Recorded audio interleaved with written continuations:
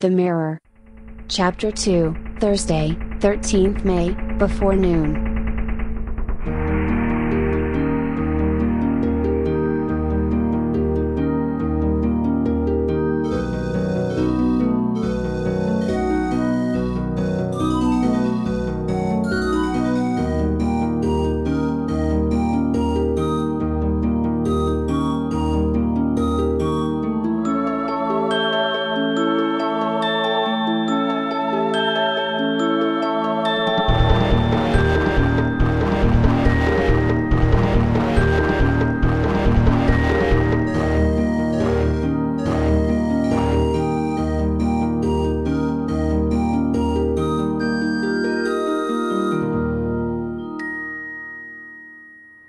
The sky is childish baby blue and the sun shines sharply, not like a early morning.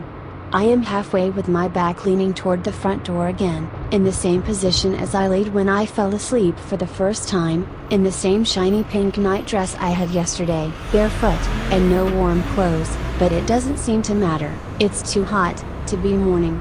I has fallen a little bit down, from the front door with my legs spreading on each side. And my toes is stretched out. I finds that the mark from the rosy spike, is still on my shoulder. No keys, no wallet, and no mobile. I says sleepily and waving my toes. There is only one thing to do, namely, to look up the tree, of pure curiosity.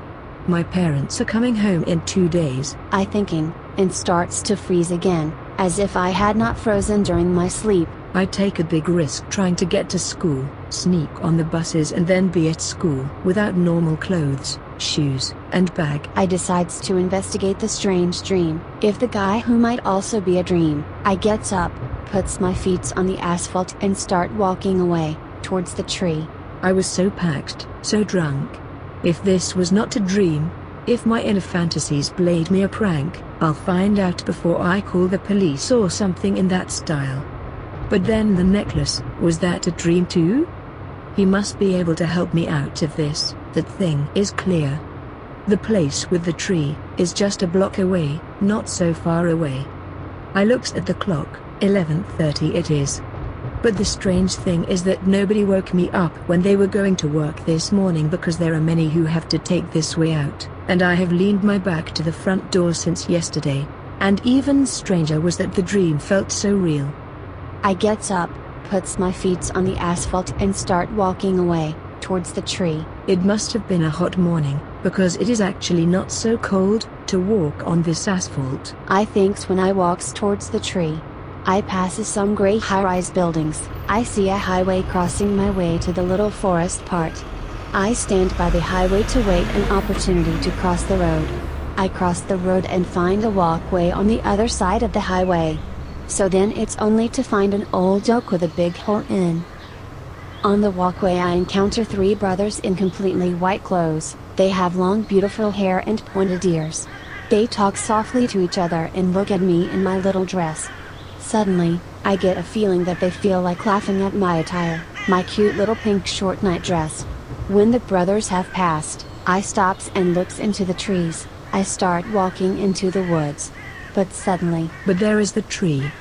I walk towards the tree, that is separate from the public and civilization. It's a big oak with a big black hole in itself. The oak tree is so big that the hole, can accommodate a whole man. I thinks, and the oak seems to lean a bit so the hole looks oblique. There is a little kitten in the bottom of the tree's hole, the kitten flies when it looks at me and an owl starts singing its song. I'm really surprised and put my hand into the dark hole, that's of course stop. After a moment of logical thinking from me, the three brothers walks towards me, I bring out the sparkling jewelry that hangs over my neck, and shows it to the brothers. The youngest brother gets a surprised looks upon his eyes, The protective dream pearl. is the words that appear in the minds of him. I'd have done that piece of jewelry. You can get really strange dreams of it, especially if you're drunk. I really do not hope you were drunk when the protective dream pearl did its job. I suppose you want to meet Martinus? Where did my hangover go?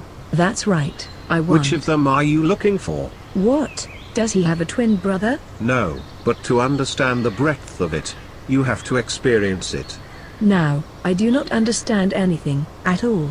I can understand that. I can let the bright Martinus explain.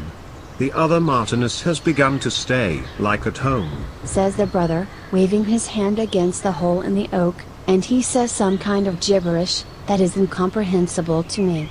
You're welcome. Now you may enter, explains the brother.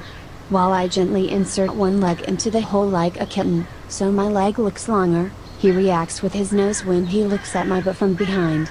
The hole starts to suck me in, I disappear into the hole.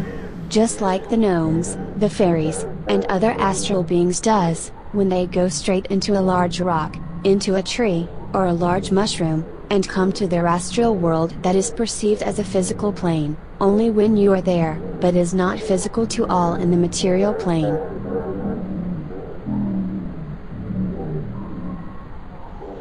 On the other side of the hole is a giant large plot with the most beautiful flowers you can imagine.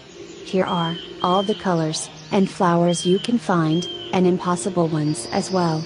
The heavenly smells are so awesome that the smells beats me in my face so I gets a blue thirst in my mind. If you're gonna joke about that, you can imagine Donald Duck, who literally gets hit in his face of a fist-shaped smell and becomes dizzy. The sun is shining even sharper at this place, though it is really cold and rugged, as if the sun rays have difficulty to warming the ground, after a dark night.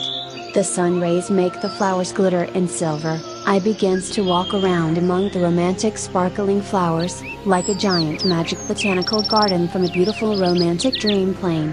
But this time she does not dream at all, it's actually for real. It's like trying to find right in a giant maze.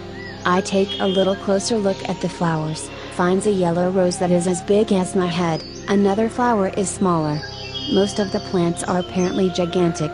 I find zillets of flower species I never seen before, red bluebells, and blue lily of the valley, and more impossible ones.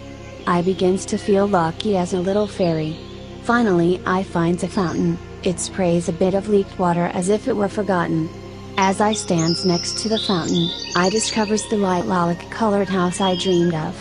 The house looks bigger than it did in the dream and stands on a raised plateau. There is a way from the fountain to the house. I has followed that road from the beginning without notice it. I walks to the house. Outside the house is a patio, where you can sit, and have a coffee, a sunny day. There there are two guys talking to each other, both of them have similar clothes. The one guy has long bright hair and a green shirt of satin or if it is made of a huge flower petal. The other one has a bit shorter, redder hair and has a cold light blue satin shirt. Which could also have been made of a huge flower leaf. I finds a staircase among the discounts, and goes up the stairs. Once up there I sees that there are more stairs leading down to the greenery, the houses are like a road crossing. I looks toward the staircase leading to my right and detects a cement wall that grossly destroys the hedge that protects over there. The cement wall does not fully reach the hedge stop, the wall is really ugly comparison to the rest in the plot. The guys turns around towards me, that's the guy who gave me a piece of jewelry, he is probably Martinus, and the other guy reminds me of that nuisance, who tried to kill me yesterday. The red hairy guy gets stuck and looks surprised at me who gets a cold look back. But God, it is hard to strike the age of Martinus. Mikhail, do you know her? That's odd, so similar you look like a witch I met yesterday. Says Mikhail surprised to me, who gets cold eyes back. Mikhail, you should not mix it up with those on the other side of the mirror, warns Martinus vigorously and waves with one finger in the air importantly, while I cannot stand here and be quiet, I picks up the silver jewelry, waving it in front of the eyes of the guys and says, Martinus? Have you been attacked by a bad assassin who was a little troll, which was a ring with a blue stone in? Huh? Since you two seem to have been met before, though not, I suggest we show Minna what treasure we have says Martinus smoothly happy, and I'm getting really pissed off on the these two, which I perceive as high-ranking, irresponsible, guys who seem to ignore what I say and they fantasies around in their fantasies. I cannot look like this, if I'm going to walk around. You owe me clothes and shoes. You there, Michael, you looks like that guy who tried to kill me yesterday, was it you? No no, not quite right. It's just almost. What almost? Was it you? I'll tell you, we'll show you the mirror for you. You will understand. There is no ordinary mirror we have found. And, I understand we owe you a lot now. Says Martinus to me and goes into the house. Now I discover what shoes these boys prefer, high black Dr. Martens with buckles on the side, back to or in other places. Like picked up a marvelous Halloween store for Satanists and heavy metal artists. The boots are on the outside of the pants with other words.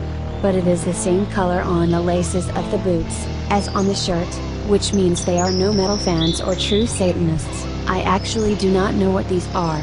Perhaps more like what people will be like, who have been to long time in the place where the gnomes, the fairies, and other astral beings with pointed ears live in.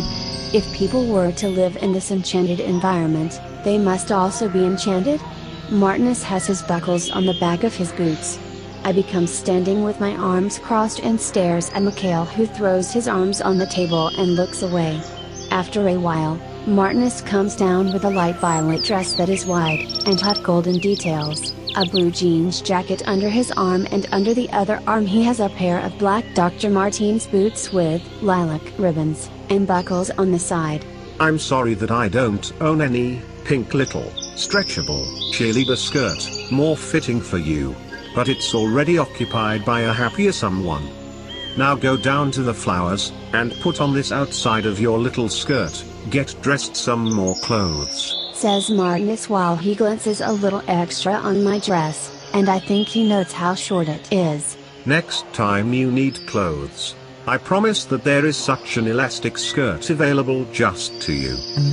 We're just going to prepare ourselves, kind of thinking. Good, when I'm back, you two will come along and show me a mirror.